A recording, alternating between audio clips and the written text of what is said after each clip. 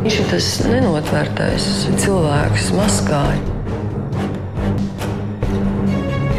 Viņš bija cilvēks ar psihiskas īpatnībām, tādas piezīmes. Es no viņa nošautu. Dūšas pietiks.